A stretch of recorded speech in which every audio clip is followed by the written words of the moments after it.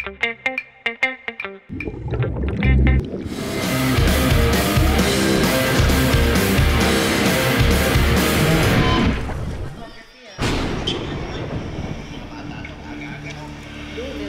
sino yung mga yun? Mga bata tong aga-aga, oh. Ay! Mga bata! Ano ba ginagawa nyo? Daang-daang sako ng hinihinalang cocaine na nagkalat dito sa dagat ng Eastern Samar. Alam niyo ba kung ano yung cocaine? Cocaine? Cocaine parang shabu. Ang mayaman. Ang party ng mga kano. Panty ng mga kano. Party, hindi panty. Oh, tagay! Para sa second best setter, Samar. Uy, si Carlo! Second place na nga, manyak pa! Palagi ka namang wala ah. Maglalakwatsa ka, magsasurf kasama ni Carlo.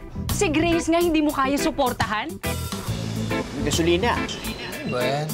Do you guys have any idea what you got here?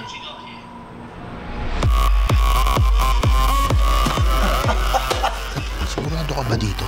Hindi tayo mahuhuli. Hindi ba nagsasawa lagi tayong talo? Pag makascore tayo ng malaki, bro, pwede tayo mag-surf all day lang, bro.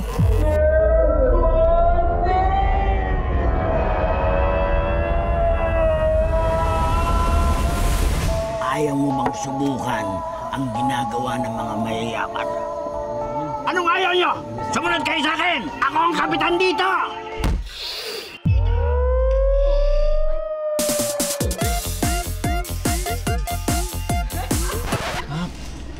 Ang ganda ng nilos mo. Mukhang marami kang huling isda. Hindi naman, sir.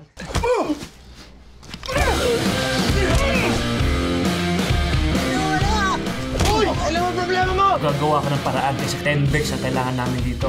Inusyante ka ba? Baka nakakalimutan mo, kasalanan mo kung bakit tayo nandito, ha? No problem, brad!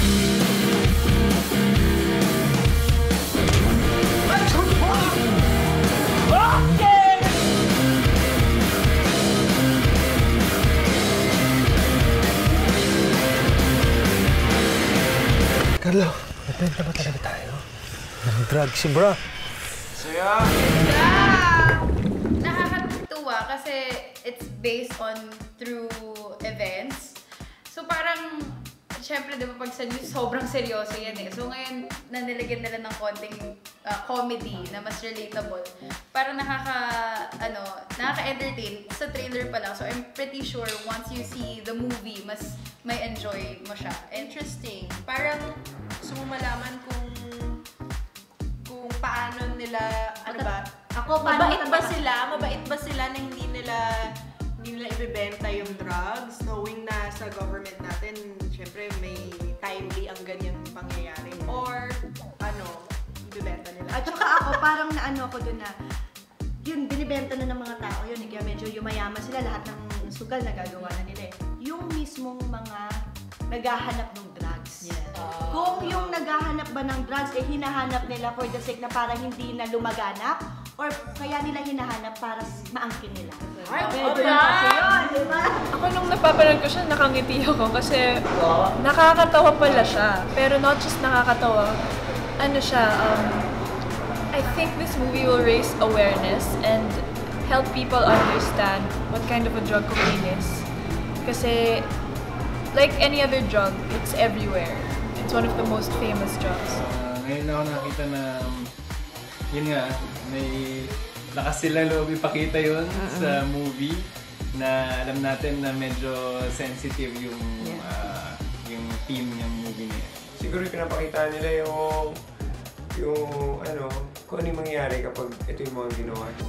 Kapag magbibenta kayo, kung gagamit kayo. Pero kasi sa trailer, it's a fun, fun, Solid. Um, I mean, kumbaga bago eh. Bagong timpla at uh, kagandahan dyan is, kumbaga, totoo. Ah, talaga nangyari talaga yan, di ba? So, perfect casting.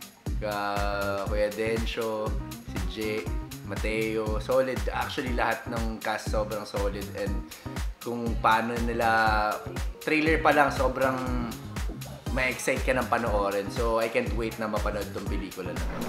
Maganda siya and it's very timely kasi alam naman natin na ngayon sa mga kabataan, usong-uso talaga siya. And I think this is a movie na maraming matututunan ng kabataan. And at the same time, we all know na yes, pwede kang kumita in a bad way. But if it's drugs talaga, hindi rin maganda ang magiging kapalit nito sa atin talaga. Either mapariwara ang iyong buhay, mamatay ka ng maaga. So talagang for me, no to drugs talaga. And please watch this. I'm sure marami kayong matututunan. Dennis Trillo, Mateo Gudicelli, tapos Gerald. Parang, mali. Parang, or, para lang may isang lokal. Oo, kasi parang may isang, parang may isang mukhang addict. Grabe sabihin na Kilala pa